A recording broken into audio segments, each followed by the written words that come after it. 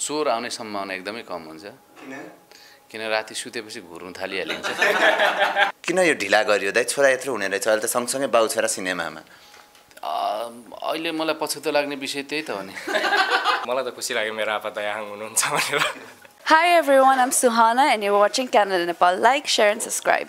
Alright क्याना Nepal तपाईँ हेरिरहनु भएको छ। क्याना नेपाल टिम आज कुराकानी गर्नको लागि असारतिरबाट रिलिज तयारीमा रहेको सिनेमा आप्पा आप्पाको डिरेक्टर अनमोल गुरुङ टेभी कलाकार हुनुहुन्छ सिद्धान्त राज तामाङ र तपाईँले नै एकदमै धेरै रुचाउनु भएको अभिनेता दयाहाङ राई हुनुहुन्छ आज कुराकानी गर्नको लागि। श्रृङ्खला कस्तो लाग्छ प्रतिक्रिया दिन नबिर्सिनुला डेट नोट गर्नुहोला असारतिरबाट। आप्पा दाइ स्वागत छ। धन्यवाद। यहाँलाई स्वागत छ Siddhantji thank you thank you दाइलाई jumbo स्वागत छ। ठिक्क मिलिरहेको छ हेर्नु त साइडबाट। सेप एन्ड साइज मिल्दै मिल्दै आएको छ यता बुझ्नुभयो? यता यता चाहिँ अलिक कनेक्ट भएको जस्तो लाग्यो है। हामी कनेक्ट गरिरहेछौँ।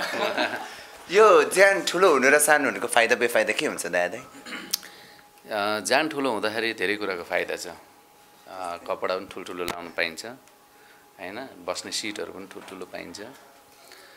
खानेकुरा पनि अलिकति धेरै नै चाहिन्छ होइन? सुत्नको लागि ओछ्यान पनि धेरै नै चाहिन्छ। अनि फाइदा हो नि? किन बेफाइदा हुन्छ? सिङ्गल बेडमा सुत्नु पाइन्छ। अनि अर्को कुरा त चोर आउने सम्भावना एकदमै कम हुन्छ। किन? किन राति सुतेपछि घुर्नु थालिहालिन्छ। होइन? फाइदा छ। बेफाइदा चाहिँ अब यस्तो छ सानो सानो ट्याक्सीमा अटिन्न। सानो कुर्सीमा अटिन्न है सानो ढोकामा अटिन्न छिर्न सकिन्न। अनि मसिना सानो कपडाहरू अट्दैन होइन? अनि खानेकुराहरू पनि उब्रेर कुहेर जाला भन्ने हुन्छ। यी यी नै छन् भनेपछि तपाईँले एटलिस्ट ट्याक्सीसम्ममा आँट्नुहुन्छ होला। अनमोल दाइ के छ ट्याक्सीको समस्या? ट्याक्सीको समस्या चाहिँ यस्तो छ जहिले पनि त्यो समस्या होइन मेरो लागि त फाइदाको कुरा।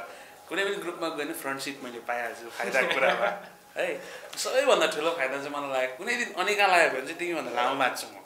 बुझ्यौ? म हाम्रो बोसो मिलिन्छ नि त। स्टोर गरेर राखेको बोसो मिलेर हाम्रो एनर्जी रिस्टोर भएर हामी एकदम लामो बाँचिहाल्छ त्यस्तो छ कि बेफाइदा चाहिँ यो हो यसो कोही अब बिरामी हुने डर हुन्छ होइन त्यो हो। अनि त्यो बिरामी हुने डरले गर्दाखेरि बुढीबाट धेरै गाली खाइन्छ है। आमाबाट गाली खाइन्छ त्यस्तो हुन्छ। तर त्योभन्दा उता त मलाई मलाई त केही जस्तो लाग्दैन। अब अरूलाई कस्तो लाग्छ? अब सिद्धान्तजी तपाईँ हाम्रो जस्तो फिट ज्यानको फाइदा चाहिँ के हुन्छ? फिट जेनको फाइदा जहाँ पनि अटिहाल्छ हामी फर्स्ट छिटो अलिकति छिटो हुन्छ। अ, अलिकति सेक्सी पनि देखिन्छ। केटीहरूले मन पराइहाल्छ। मलाई लागेको त्यति त्यति नै हो त्यति। बेफाइदा बेफाइदा छैन होला। अर्को फाइदा पनि छ हजुर।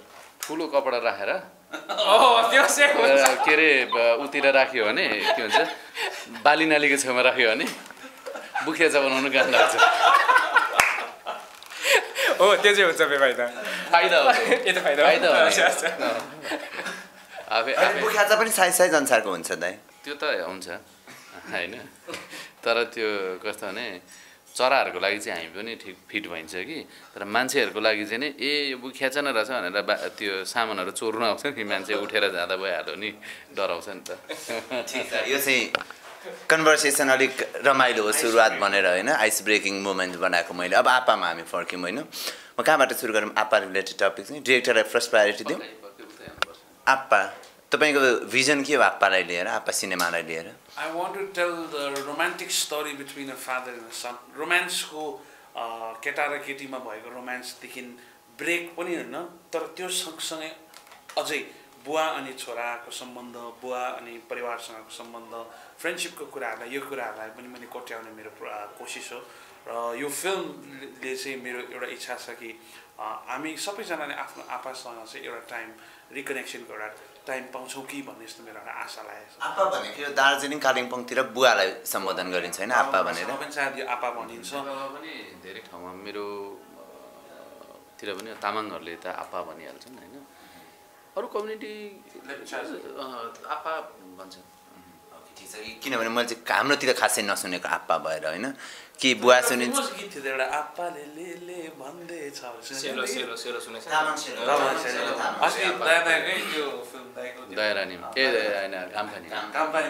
आप्पा। थियो।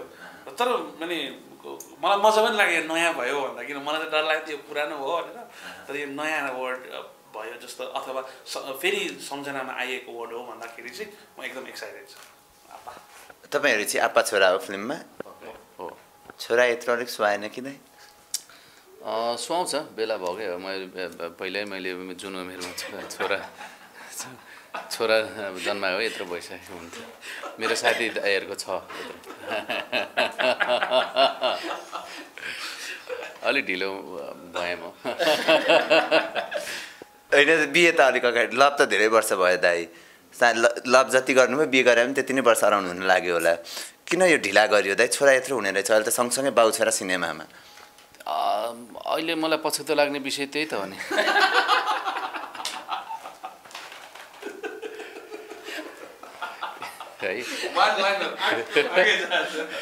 तर यस्तो हो एउटा आप्पा अथवा आमा बन्नु भनेको ठुलो जिम्मेवारी लिनु है। परि- परि- परि- परिवारको लागि समाजको लागि होइन?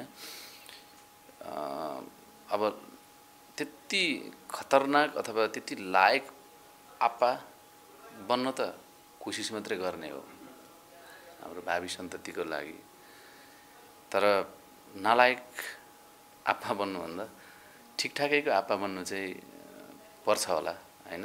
त्यस कारणले पनि त्यसैको चाँजो पाँजो मिलाउनुको लागि पनि फेरि आप्पा आफै बन्ने मात्रै पनि कुरा होइन होला होइन? होइन?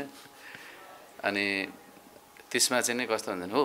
सिधा कुरा भनेको मैले विवाह हुन्छ। म यहाँ दाइ तपाईँ कति बेला म हामीसँग सिरियस कुरा गर्नु भएको छ? कति बेला ह्युमर छिराउनुहुन्छ नि म कन्फ्युज भइसकेँ। एकदम सिरियस भएर सुनिरहेको हुन्छ म बिचमा ह्युमर अघि छिराइसक्नु भएको हुन्छ। होइन। हो नि के भन्छ एउटा पहिलो कुरो त विवाह हुनु पऱ्यो विवाह भइसकेपछि मैले कसैको छोरी मेरो घरमा लिएको हुन्छु जोसँग अब मेरो नयाँ सम्बन्ध सुरुवात भएको हुन्छ। उसँग मात्रै होइन मेरो परिवार उसको परिवारसँगको सम्बन्धहरू बिस्तारै बढ्दै जान्छ। त्यस पछाडि हामीमा अर्को किसिमको जिम्मेवारी आउँछ होला होइन? अनि त्यो एउटा प्रक्रिया हो। प्रक्रियामा कोही बेला ढिलो कोही बेला छिटो हुन्छ। अब त्यो के गर्नु त होइन? सिनेमाको आप्पा र रियल लाइफको आप्पा आफैलाई चाहिँ कसरी जज गर्नुभएको छ?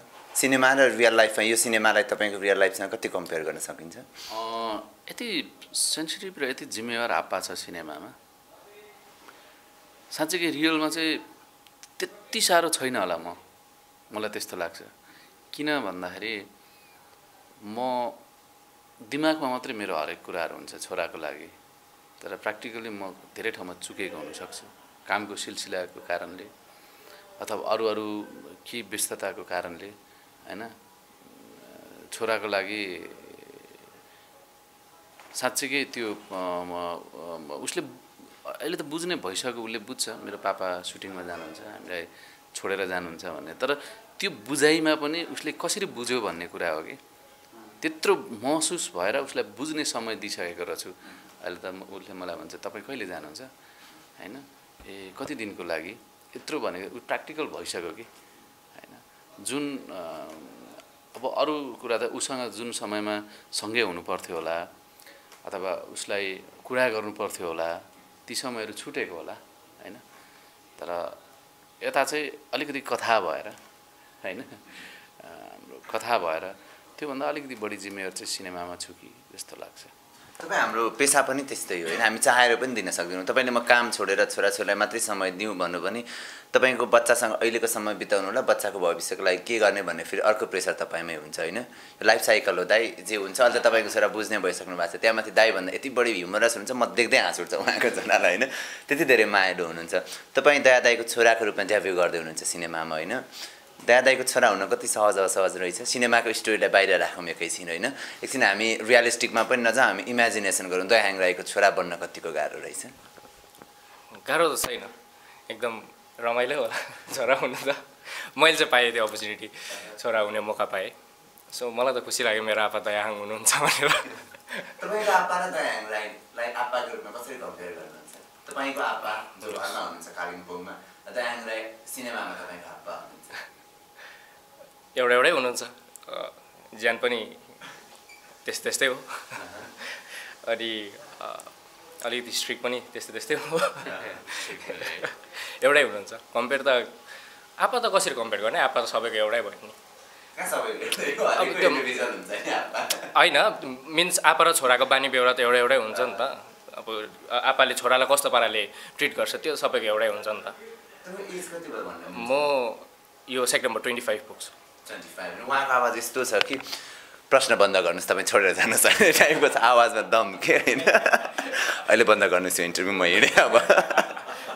होइन होइन त्यस्तो होइन आवाजमा दम छ मलाई खुसी लागेन। सिनेमामा उहाँहरू नै किन तपाईँको भिजनमा यो प्रश्न अत्युक्ति होला तर पनि सोध्न मन लाग्यो कि? मलाई धेरै कलाकारहरू हुनुहुन्थ्यो होला।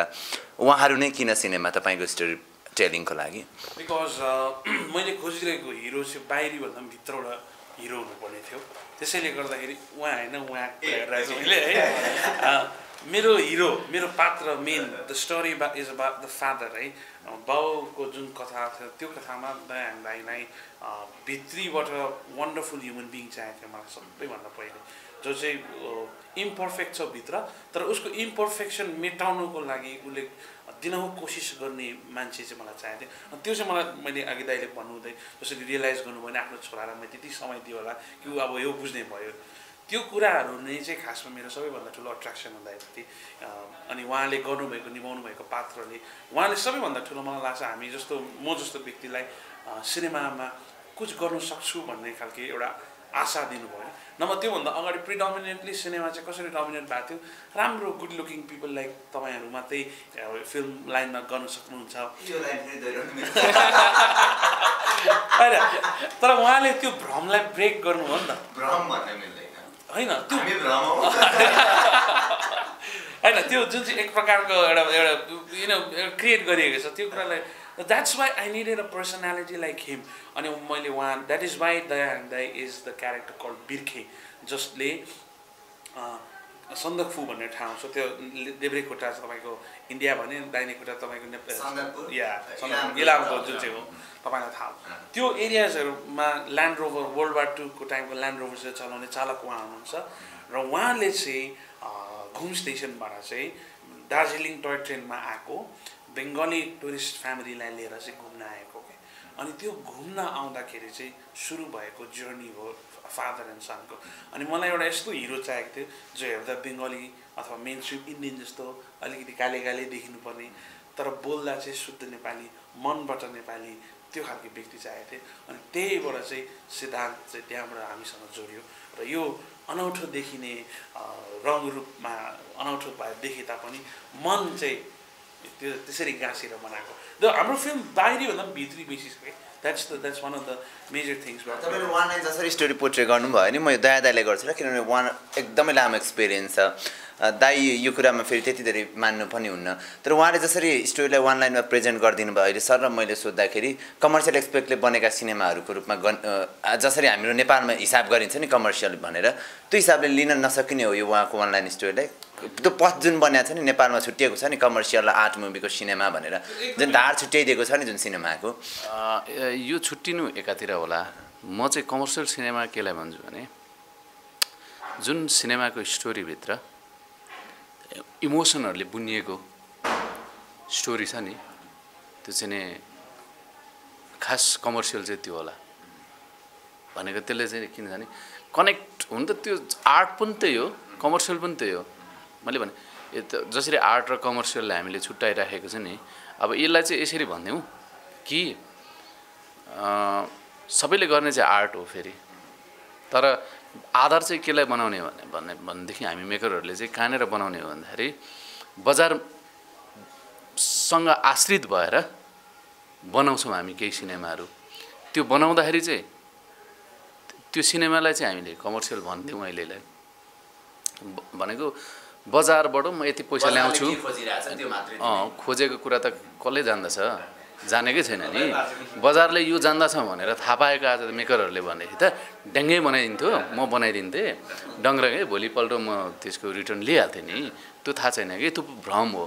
सत्य चाहिँ के हो भने बजारसँग चाहिँ मसँग यति पैसा लिन्छु बजारबाट मेरो दर्शकबाट यति पैसा लिन्छु होइन? म यो किसिमको सिनेमा बनाउँछु।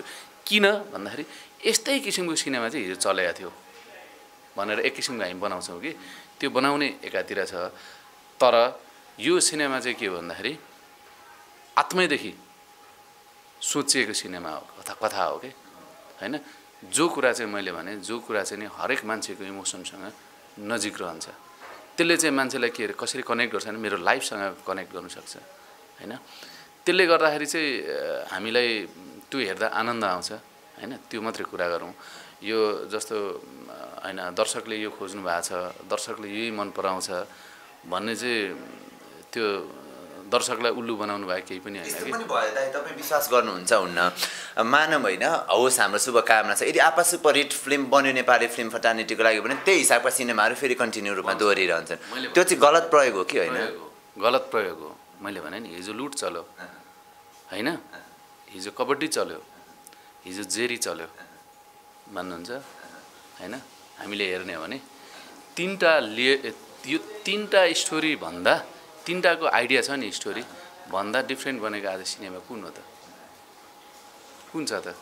भनेको के सेटअप थियो भने लुटमा एक किसिमको रोबरी गर्ने टाइपको स्ट्रक्चर त्यस्तै हो।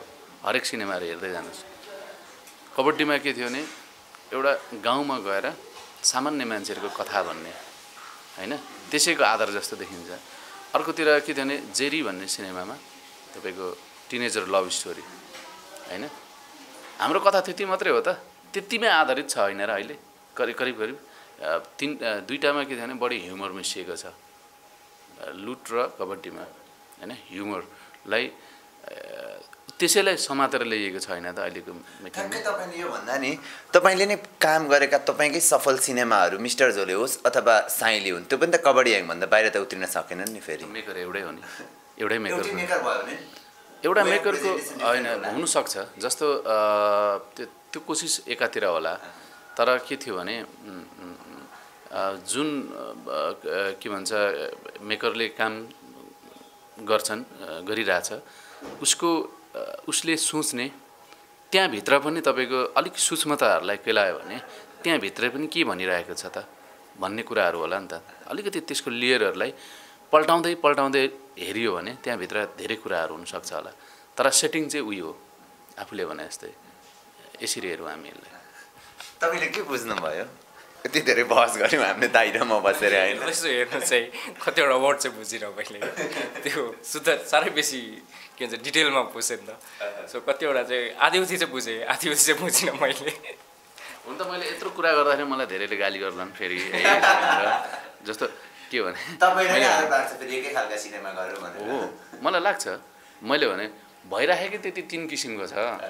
टिनेजर लभ स्टोरी म खेल्न सक्दिनँ होला। मसँग त्यो क्षमता छैन। बाँकी रहेको दुईवटा सिनेमाको लेयरको कुरा छ। दुइटै लिएर मैले खेलेँ हो। होइन?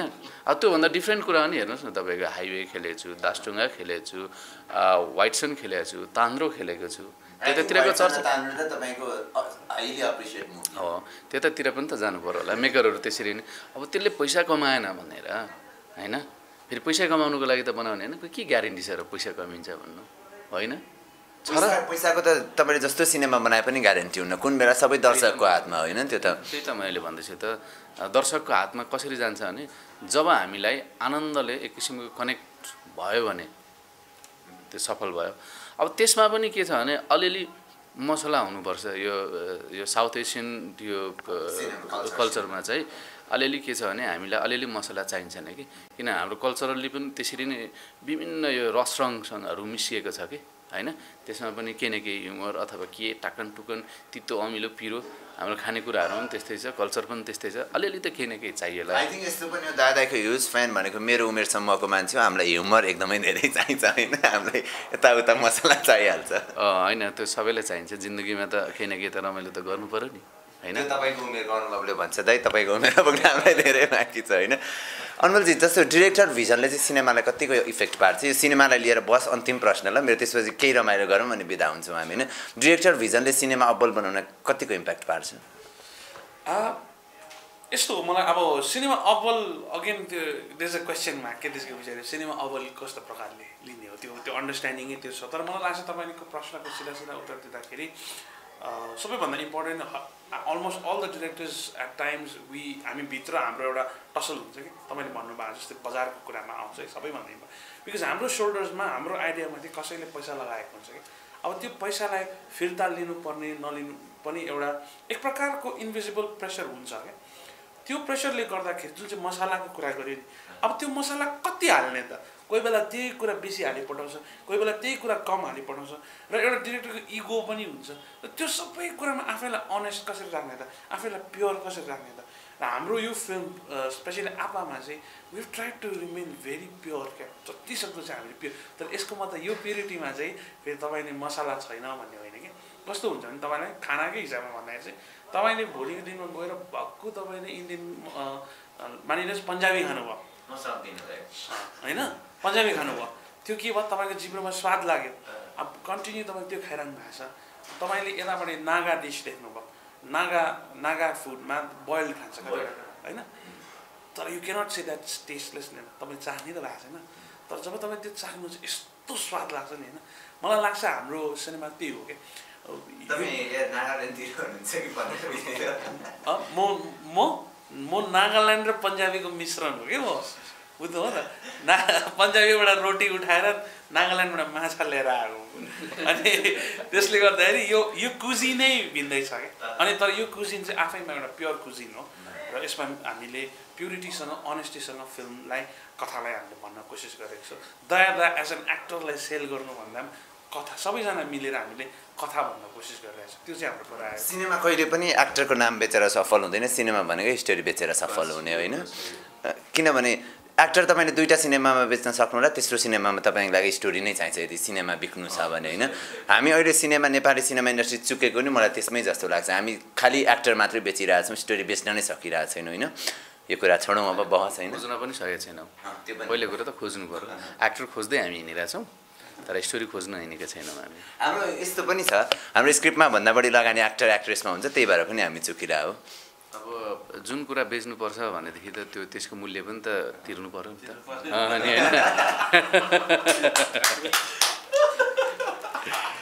स्क्रिप्ट बेच्ने हो भने स्क्रिप्टतिर अलिकति लगानी गर्नु पऱ्यो दया दाईको डिरेक्सन र स्क्रिप्टमा हामी सिनेमा हेर्न एकदमै हात उठ्छौँ। होइन त्यो धेरै भयो। आई थिङ्क मैले यो अनलाइन अनलाइन फिल्डमा जर्नालिजम सुरु गरेर चार वर्ष हुन लाग्यो दाइ। मैले सुरुमा तपाईँलाई मन्डला थिएटरमा घाम पानीको बेलामा सोद्धाखेरि तपाईँले म सिनेमा डिरेक्ट गर्छु भन्दै हुनुहुन्थ्यो। अहिलेसम्म गर्नुभएको छैन। म अपेक्षामा छु। यो यो चाहिँ कस्तो भने किसै बनेर जाला भन्ने कुरा हो। हाम्रो हाम्रो यो फर्स्ट क्वेसन सोध्ने मलाई राम्रो थाहा छ विष्णु शर्मा। होइन उसले मलाई के भन्यो भने दाइले नाटक त डिरेक्सन गरौँ फिल्म पनि डिरेक्सन तपाईँ गर्नुहुन्छ होला नि होइन? भनेपछि म गर्छु। होइन मेरो सोच नै हो। होइन भने हो। अनि उसले नै बेला बेलामा भनिराखेको हुन्छ बेला बेला न्युज पनि लेख्छ।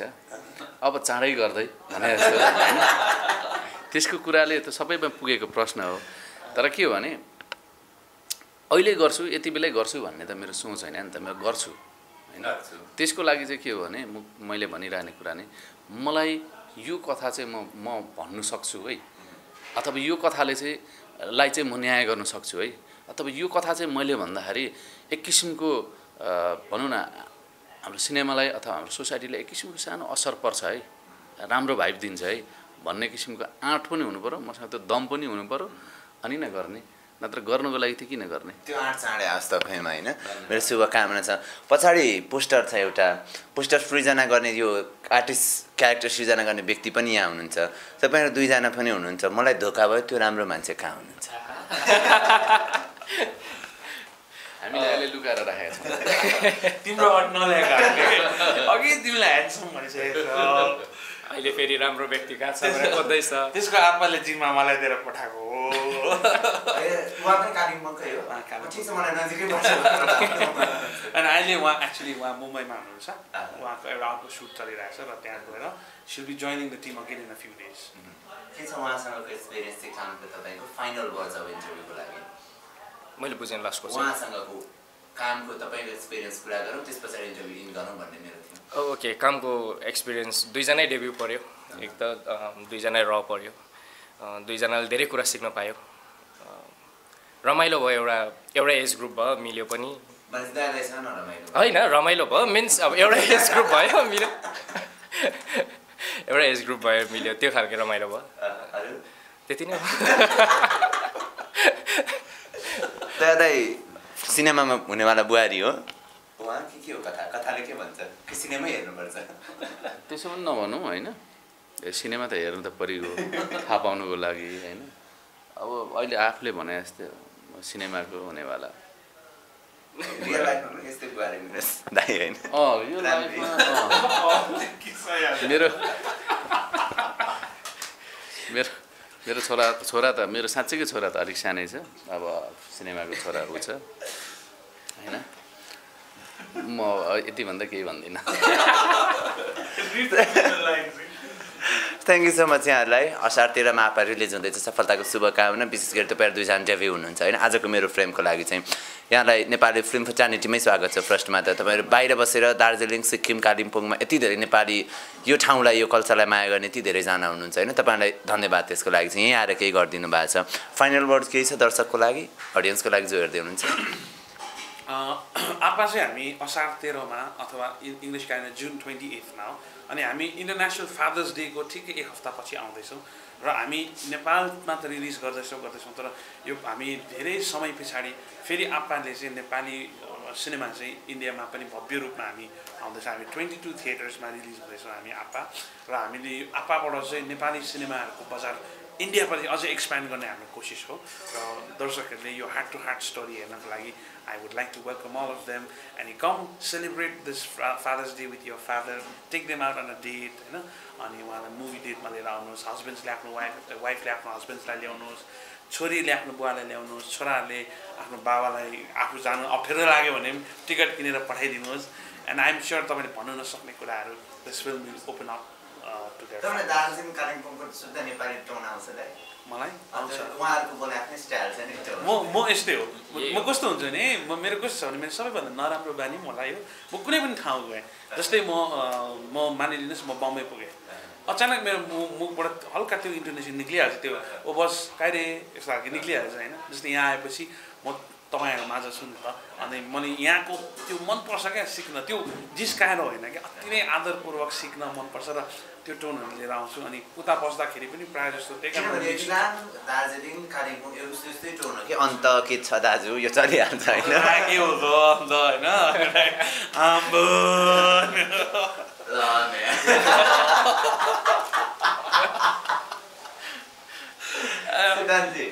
के? भन्नुहोस्। ल टाइपले त। अलिक त्यस्तो पाराले त म त आएन त्यस्तो पाराले। मलाई लाग्छ यो एभ्री फ्यामिलीमा यो स्टोरी कनेक्ट हुन्छ क्या? तपाईँको पनि हुनसक्छ सायद। आपा आपा छोरा। अब कतिवटा छोराले बाउलाई माया देखाउन सक्दैन।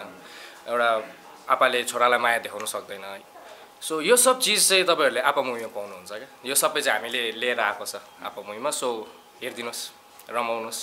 अभियसली इन्जोय गर्नुहुन्छ तपाईँहरू सबैजना यो आपा मुभी हेरेर? सबै दुईजनाले भनिसकेँ है। मैले त कपी पेस्ट भन्दा पनि पुग्छ। है। ल दाइ। अँ,